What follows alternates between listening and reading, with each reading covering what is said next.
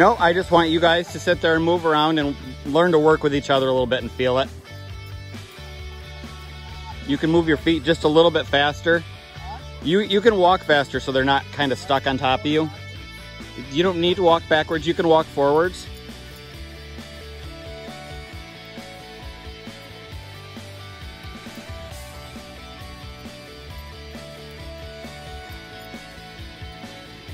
And move